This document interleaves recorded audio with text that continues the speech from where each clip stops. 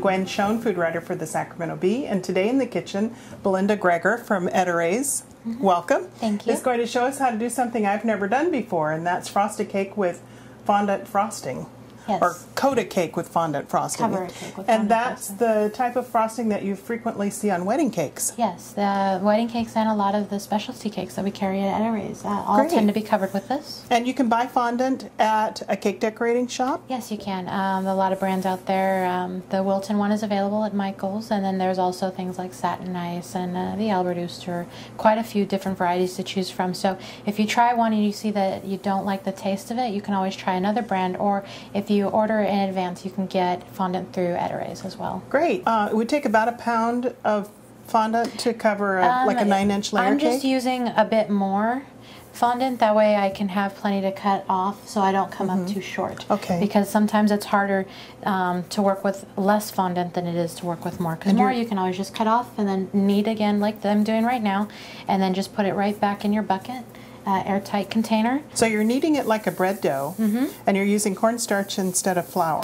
Yes, uh, cornstarch is going to keep it dry, and up here it can get pretty humid, so that kind of helps to keep it from sticking to the board as well as the rolling pin. If you find that the fondant that you're working with is too dry and it's cracking, just knead a little bit of Crisco into that. Oh, great. Okay. Rolling pin will start rolling it out.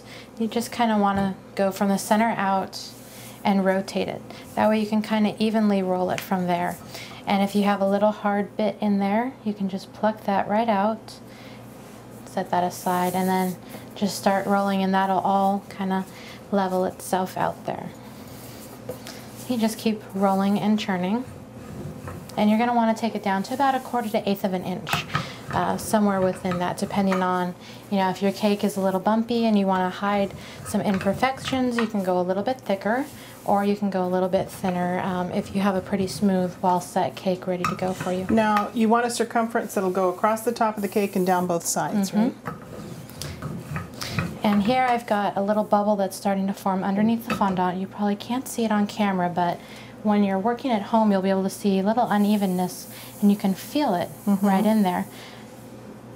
Oh, uh-huh. So instead of being smooth like it is over here, Oh, right now it's Sort of like Play-Doh. yeah, it's a lot of consistency um, towards the Play-Doh type nature. You're just gonna slide it in at an angle and then go right over it and it's gonna pop all your little bubbles there to keep your surface nice and perfectly smooth.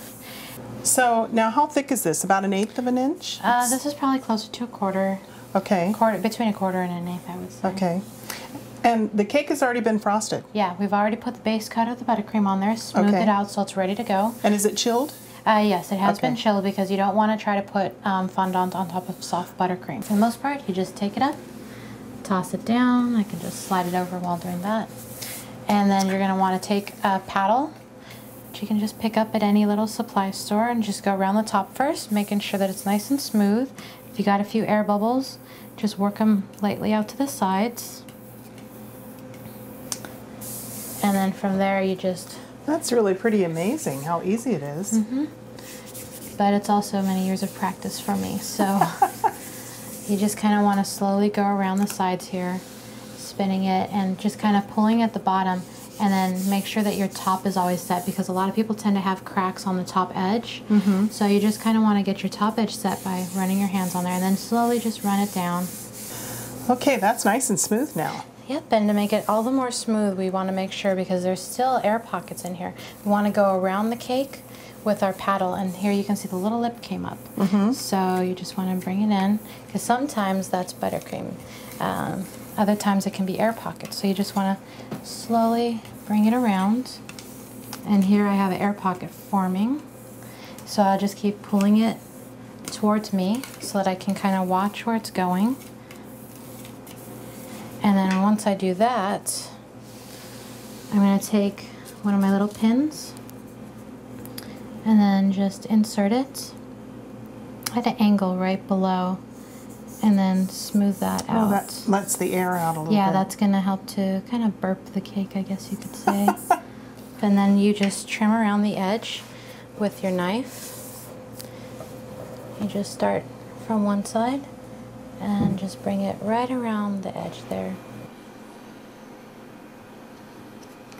Okay, the fondant's all on. What's the next so step? Next, I'm going to be using royal icing and a bag with a number three tip to put Mm-hmm. on our small little um, pulled pearl border, is what I usually call it. And royal icing, for those of you who don't know, is basically powdered sugar and cream of tartar and egg whites. Okay, so now I'm going to apply a pulled bead border.